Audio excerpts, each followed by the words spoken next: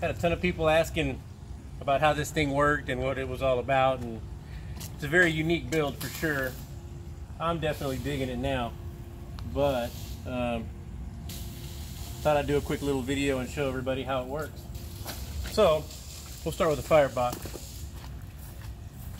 Of course, the firebox is insulated.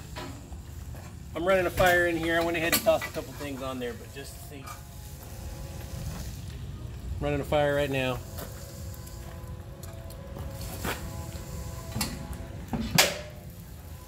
Running on 10 inch golf cart wheels.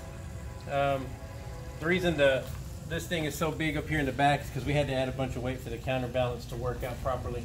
Insulated firebox, insulated top.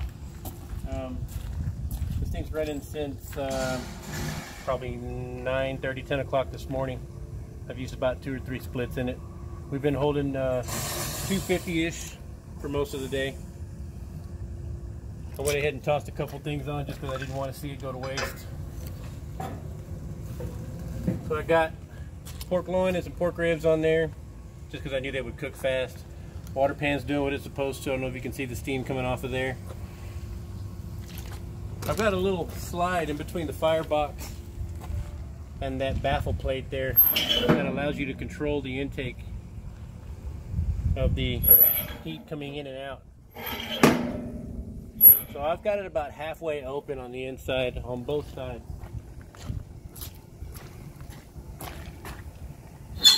One on each end. Opens and closes it all the way.